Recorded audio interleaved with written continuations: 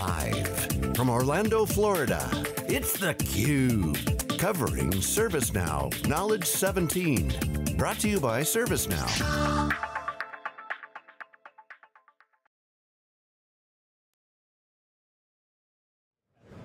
We're back at Knowledge 17, Dave Vellante with Jeff Frick. Josh Gluck is here, he's the Deputy CIO of Weill Cornell Medical College in the Big Apple. Thanks for coming on theCUBE. Thanks very much for having me. Tell us about Weill Cornell. It's a collaboration with Sloan Kettering originally and... Yeah, uh, we're a three-part mission-oriented institution. Uh, patient care being first. Uh, our physician organization delivers patient care in New York City. Uh, we're partnered with New York Presbyterian Hospital, uh, Memorial Sloan Kettering Cancer Center, and also the Hospital for Special Surgery. So let's get right into it. Um, CIO, you were probably doing some of the CIO activities here mm -hmm. this week. Love to hear about that, but Let's get right into how you're you know, using automation, how you're using the ServiceNow platform. Let's sure. talk in the context of IT transformation. Yeah, um, so we've been a ServiceNow customer since uh, 2012. We actually went live on 12, 12, 12. Everybody thought that was a joke, but it turned out to be the real go live date. Um, you know, and, it, and as the platforms matured and as our organizations matured, um, you know, we started focused on ITSM strictly. Um, over the last few years, though, we've we've found that um, you know, our focus for ServiceNow should be the equivalent of building a 311 platform for the administrative departments. So we've onboarded uh, folks in HR. Uh, we're doing case management now with ServiceNow. Um, obviously all the ITSM, um, ITIL-based processes. We've worked with our uh, Department of Environment, Environmental Health and Safety um, to help them with some of the regulatory compliance uh, workflows that they need to have in place.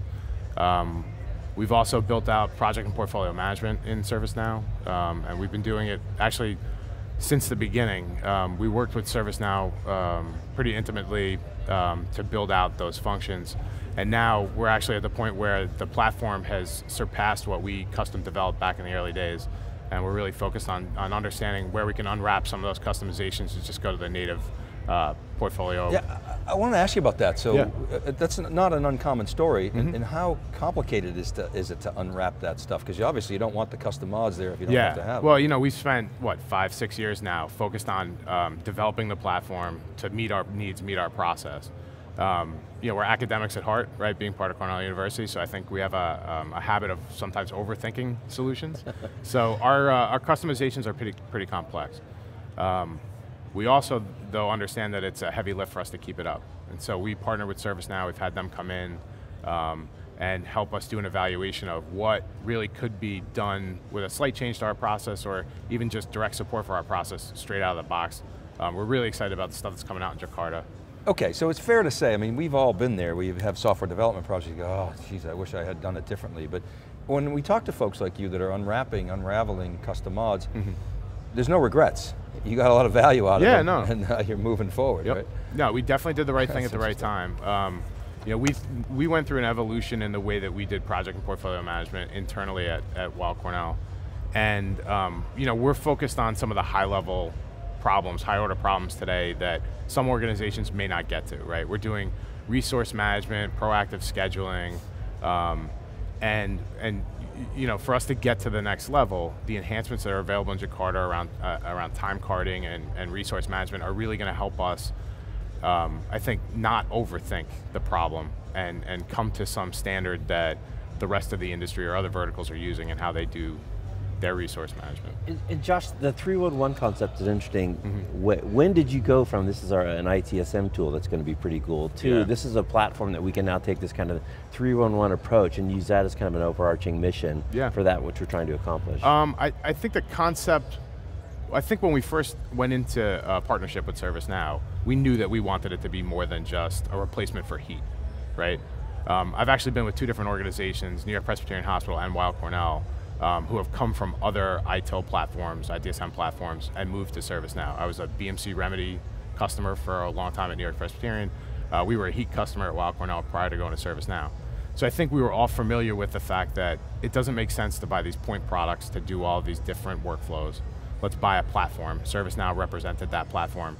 Even in its early stages, we knew that we wanted to do more with it. We had conversations about process users, and I know you guys were talking a little bit before about changes to the license model that are happening. Yep. Um, but we, we really wanted it to be something we could develop further. Our first project just happened to be, in both cases, we have an ITSM platform that isn't working. Remedy at NYP, Heat at Weill Cornell. Let's get off of it and get onto ServiceNow. Um, but I think we didn't start calling it the 311 uh, until um, maybe a year or two ago. Okay. And it really started with case management. I think that was a, a big deal. It's a good little marketing, you know, the CIO selling. from, Yeah. uh, Daniel Pink. Yeah. Um, how large of an organization uh, Is Weill- IT or Weill- Weill Cornell Weill itself? Cornell? Uh, we're between, we're about 5,000 and change. Okay, so not enormous, but I was, the reason for the question is at what point does it make sense to, to bring in a ServiceNow? You know, our, our little 50 person company, you know, we, we've been trying, but it's just Yeah. still not there yet. But is it size of company? Is it size of problem? Wh- what is your advice there?